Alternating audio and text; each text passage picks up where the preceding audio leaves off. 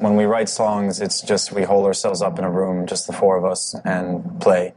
It starts with Daniel on guitar. Like it starts with a guitar progression that he brings in. Like just a, a basic melody. It's just like a one string kind of melody that was very attractive in its simplicity. It'll be sort of rough parts to like rough ideas of a song that Daniel will have, and then we'll structure that together. And Carlos is very uh, crucial in that process. The fact that Daniel came to the mix with not a finished product gave me with my kind of like impediment of the bass to then try to make up for what was already quote unquote missing. Carlos has always found a way to kind of defy whatever the obvious would be and really sort of make that you know the piece expand in a way so it's more than just like a guitar part and a bass line it becomes something big, bigger and so then this created this sort of like this thing that you hear in almost every Interpol song, which is kind of like a DNA strand, uh, a helix, you know, between the bass and Daniel's guitar.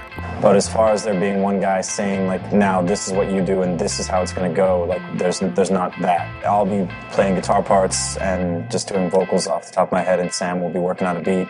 And then once we all have like a big kind of mess of ideas floating around, then it becomes the Democratic Committee of Interpol where we just really kind of duke it out. I mean, it's a very arduous, long process writing a song.